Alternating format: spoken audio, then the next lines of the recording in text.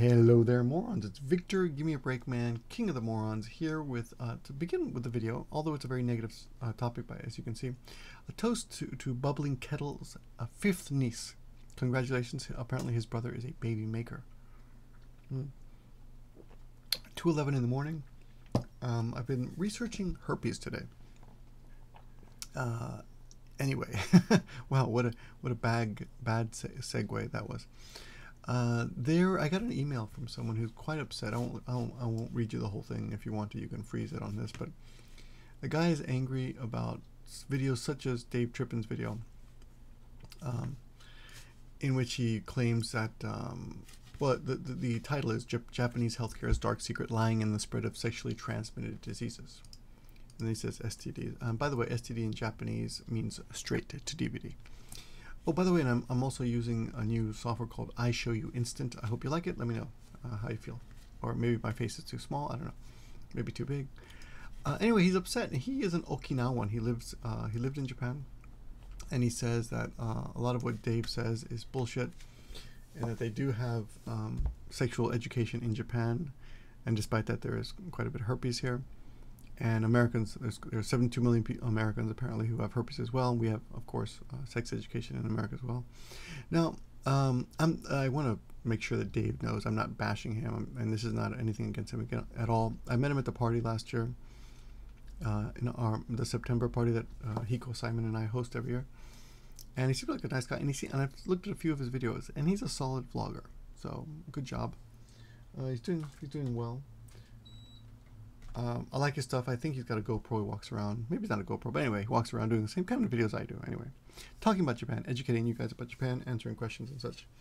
He's also a very passionate person, which sometimes sometimes the passion can outweigh the facts. And I'm not saying that he's wrong, but I'm saying that if if he and I were in the same room, we could probably have a discussion regarding some of the things that he claims in his video and we would probably he we, we we'd find some more some common ground and i think some of the things he says he would he would uh he would admit that they're not exactly uh, he, he i think i could challenge him successfully on a couple of his points. Now one of the things he said one of the things that i will not disagree with is that if you are in japan you should get a an std uh, test before coming to japan and if you're a sexually active person uh, on occasion. Now, when I was back in the States, I lived, I lived in New York City, and I used to get one every year. Now, thinking back now, I'm thinking that might have been overkill. I used to get the AIDS test as well, and because you know in those days people were like, "Oh no, everyone, no, we, we got to make sure we don't get AIDS." of course, you do want to make sure you don't get AIDS, but uh, a lot of a lot of the media make, makes it out that AIDS is, is is an epidemic and it's it's destroying the world, and of course, it is destroying some uh, if you get it, yeah, you're. It's it's it's it's a serious thing. You're not exactly screwed, but uh, it's much more treatable than it used to be. But anyway, the same thing regarding herpes. Okay, so Dave talks about how it's it's a he refers to it in this video. You can watch the video. It's a long video. He says it, it ruins your life, and I looked into it. Um, I have an uncle who's a doctor, and I asked him about it on Skype just today. You know, and there's apparently two types of herpes. There's herpes uh, simplex one and simplex two. Simplex two, uh, and they're both they're both um, incurable. And I'll leave you some links in the, in the description. This one's from New Zealand, and there's some other interesting stories. Uh, herpes is not as bad as you think, etc. etc. But anyway, uh, he makes it out to be a really horrible disease, and it's incurable. But just because something is incurable doesn't make it that bad. Now I'll tell you a little anecdote. I have a friend who uh, really nice guy, kind of a shy guy, uh, really good looking guy too, actually. Um, a man's man, but he's, he's pretty shy, not, not a player at all. And he uh, he had his girlfriend, and she had herpes, and she gave it to him because they were in love, and she thought now we can be together forever. And he's like, yeah, that's not gonna work, and he broke up with her because um, that that screwed up, screwed him. I mean, he was really upset about it. Um, apparently, one of the if you check the WHO site, where's the WHO? Here it is the site here on WHO, one of the biggest problems is uh, it's more of a psycho psychological problem. If you look at it, uh, let me see, um, where is it? I don't know where I read it, but somewhere on here. Yeah, it can be quite a symptom. Yeah.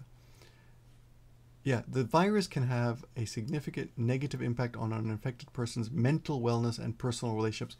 I actually Googled quite a few times what are the negative effects of herpes, and I really couldn't find any big ones. It does apparently make it, it the symptoms are worse if you have AIDS or HIV, and you can you can transfer to a, a baby, and a uh, baby might it might be fatal to a baby. And uh, let me back up though, because a lot of I, am assuming you guys know what, what's in my head. You don't, but okay. There's there's two major. There, first of all, there's there's there's dozens of herpes, different kinds of herpes. Okay, but the two major ones we're talking about are herpes simplex 1 and herpes simplex 2. Herpes simplex 1 is basically cold sores that you get on your mouth. Now, those can also be genital if you use your mouth for, for sexual purposes, which a lot of us do. A lot of us, a lot of us enjoy that. Uh, so you can transfer it, but it's not nearly as bad as the other one, uh, herpes simplex 2, which can be quite painful at first, but over time the um, the symptoms um, fade away. And a lot of people are asymptomatic, which means they don't show any symptoms at all, but they still might be uh, contagious, contagious, or they, may, they might be able to trans, transmit the, the disease. So just because you're not, you know, you don't have sores all over your, your, your, your uglies, um, you should still be careful. And, and, of course, you should always uh, use condoms and be be careful, and uh, I want to say don't don't sleep with sluts and don't sleep with male sluts or female sluts, but we don't want to slut shame, right? Um, anyway, the it's it's interesting in that I looked at the stats and yeah, it does look like. Let me look at the, the wiki wiki stats I have somewhere here. Where the hell are the wiki stats? Uh, apparently, well, I'll have to use memory. About yeah, in Japan, about fifty percent of all Japanese have herpes simplex one and only one to this is a real this is on Wikipedia one to seventeen percent one to seventeen percent of Japanese women have herpes simplex two, and about three percent of Japanese men have simplex two or three percent have simplex uh, two. The, the, the the sexual one, the genital one, genital herpes, I guess we should call it. I would imagine those numbers are probably higher, and just because those numbers are low doesn't mean you should go out there, you know, sticking uh, your junk and everything. Uh, and if you look at the, the, the, rates in other countries are pretty high. So a lot of people have herpes. A lot of people have herpes. Um, millions and millions of people. I think something like in the world, 417 million people, a half billion, no, what is it? A, like a half billion people have herpes. Maybe more. You look it up. This is, you know, this is not a, a medical show. This is, um, this is not a medical show. That's, that's all I have to say. Look it up if you want to know. Go ask a doctor. You shouldn't be getting your information off the internet anyway. But I would like to say that I, I think what happened with Dave Trippin, uh, if you watch this video, he says he's very he's angry at the doctor for downplaying this, and and I when I talked to my uncle, he was like, "Yeah, it's not a big deal." it's like, yeah, it's not a big deal. Yeah, it's uh, a little painful, and I really couldn't find any other harmful effects except there's social stigma attached to it, which is a big deal. But I mean, we what are you gonna wear a sign? Hey, everyone, I got herpes. Don't sleep with me. Just don't tell people unless you're unless it comes up. You don't just you know, you don't. Oh, that's not an opening line in a self-introduction. Hi, my name is Victor, and I have herpes. No, it's not anything to be ashamed of. It it happens. You know, it's maybe it's embarrassing, of course. It's it's uh, an inconvenience, but if you're an adult, you're basically you're not going to die from it. It's not going to hurt you in any way that I can tell. And again, I am not a doctor, so if anyone has a different opinion, please put it in the comments. I I am an admitted moron. I'll be happy to admit that I was wrong. So put it in the comments. Um, but from what I can tell, it's not that bad. Now, Dave Trippin uh, talks about it as if it, it's a life changer. It'll ruin your life. Um, well, it's a life changer, but it's not. It's not that big a deal. Um, I'm sure there we can think of hundreds of other things that are that are that will affect your life in other ways, uh, in worse ways. But let me see. Oh yeah, here it is. Here's the the Japanese the, the Wikipedia uh, rates on it here. Let me see. Um, Japan, right? 50 to 60 percent have it. This is, is simplex one and seven one to seventeen of women and two percent of men. Okay, so it's pretty it's pretty low. Oh, but if you want to, you can look at yeah, Peru ninety two percent. Everyone has it in Peru, man. So um, probably my whole family has it. Big deal. USA sixty eight percent. 26% of women, 18% of men, so much higher in the USA. Of course, in Japan, it's probably underreported. Uh, now, Dave also makes these. Dave's been here, I don't know how many years, but four or five years. I think you're at the stage, David, where you think you know a little bit more about Japan than you actually do, which I think a lot of people make the mistake of, of doing. again, not a diss. I'm not trying to discredit you, um, but a lot of us, a lot of us, and I'm sure I was the same. You come here for a few years, and after five years, you think you, you got a good handle on things. But the longer you're here, I think, uh, actually, the more you realize that you just don't know what the hell's going on. Now, at the bottom of your video, uh, in the description, you say it's an as an honor shame based society. Japan has a lot of number numbers uh, has a number of strengths and weaknesses. Weaknesses, excuse me. Um, I don't know about that. Honor shame based based really? It's all it's based on honor and shame. It's based on honor and shame. The society is. Ba- I I would disagree with that. I would say it's based on hard work. It's based on pride honor and pride different but shame i don't know about that um, i could be wrong you guys can discuss that amongst yourself in the in the in the um, comments below but um, anyway long story short long story short uh, the the doctor that dave talked to uh, said you know it's not a big deal you, you don't need a test and and Dave got very upset and said he called him a motherfucker. He said, "You motherfucker, you're lying to me." But I think what might have happened here is that the doctor might have been confused uh, with what herpes he's talking about because I'll, I'll I this and this is not the only person I, I, only I didn't talk to just one person. One of my students is a doctor, and when I mentioned herpes because I because this this video is a month old and I mentioned this I, I meant to do a video response a while ago, but when you mention herpes to a doctor, sometimes they say, "Oh yeah, not a big deal." Like yeah, it's oh herpes one because you know there's many there are many kind of herpes. So from a from a professional, I guess doctor doctor's point of view, he wasn't being I, I don't I I don't think he was being disingenuous or, or, or, or, purposely dishonest when he said there's no test for it. Maybe he was talking about number one. Maybe there's no, there's no real test for it. You just have to wait till you get their symptoms. Because getting cold sores, you know, uh, it happens. You know, when you get tired, you get cold sores. Um, if I work too too too hard, too long, and or I'm sick for a while from some other thing, I st- I'll get a cold sore too. I have I have uh, herpes, uh, simplex one as well. Um, yeah, so maybe he was talking about that. I don't think doctors are out to deceive you in Japan. And I also think that, uh, yeah, unless you're showing symptoms, getting the herpes test is a little weird, to be honest. I mean, I would, I would say, I don't, I don't know. I would, I, I would, I've gotten STD tests before, but I don't think I've ever asked specifically for the herpes test. I think a general STD test, and honestly, I don't know if they have them in Japan.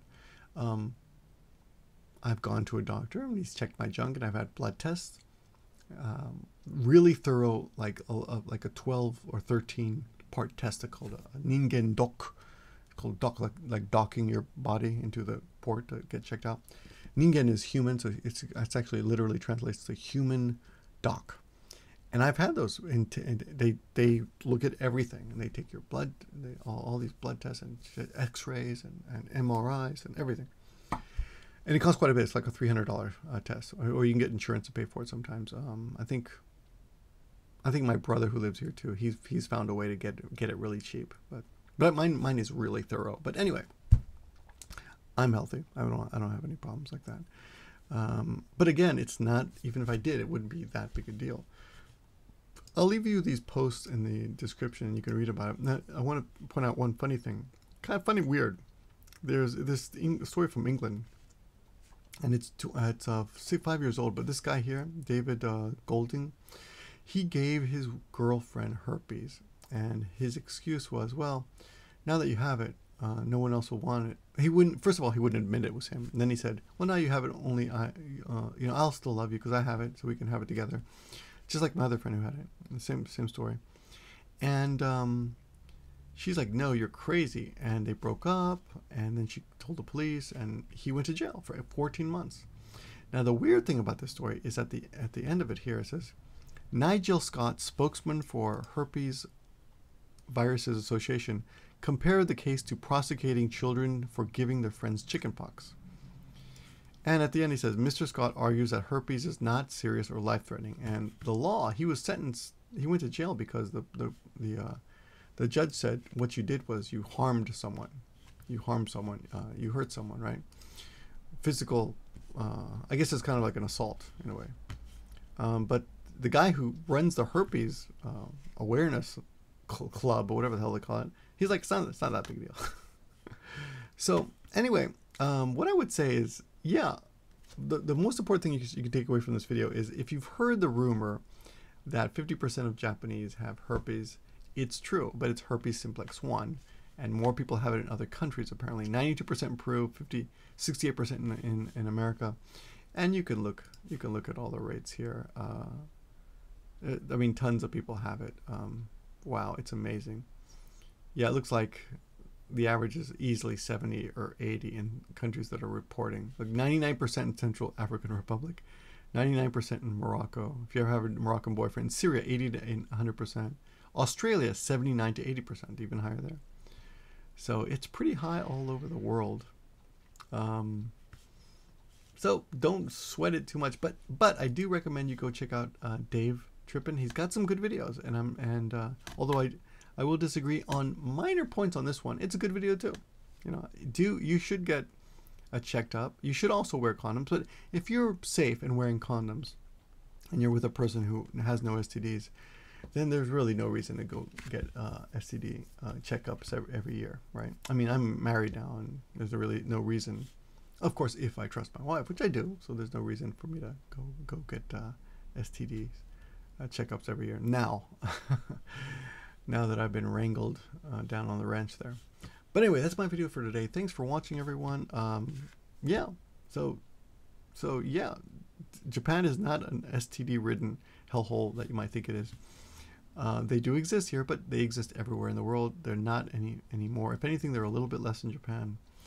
And a lot of uh, young ladies will ask you to wear a condom, and you should if, if you are asked that. And if you're a woman coming over here, you know, there, there are lots of condoms here. It's not like people don't buy condoms. I've seen high school kids uh, going to Lawson convenience store and buying condoms. Someone told me they don't sell them in uh, Lawson's anymore, but I remember distinctly because I was thinking, I can't believe these kids are buying condoms. So that's that's that's kind of cool, you know. They're buying condoms together, and they have a lot of adult shops that have condoms in them. So condoms are everywhere. Yeah. Um, whether they fit you or not, well, that's another story. Anyway, that's enough. I've talked enough. Thanks. Uh, thanks a lot. I'm gonna go to sleep. Talk to you guys soon.